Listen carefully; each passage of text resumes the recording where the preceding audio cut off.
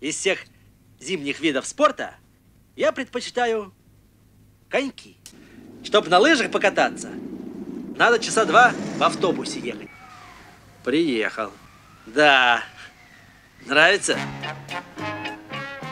А на катке? Музыка. Буфет, скамейки. Сел, кофейку попил. Вот, посидел, отдохнул. Да, вот, допустим, ты упал. Так коньки никуда не денутся. Некуда им деваться-то. А сломать их вообще нельзя. Потому что они стальные, каленые и еще нержавеющие. А дома с коньками вообще одна благодать. Их на гвоздь повесил и все. Вот у меня уже лет пять, наверное, висят. И никому не мешают.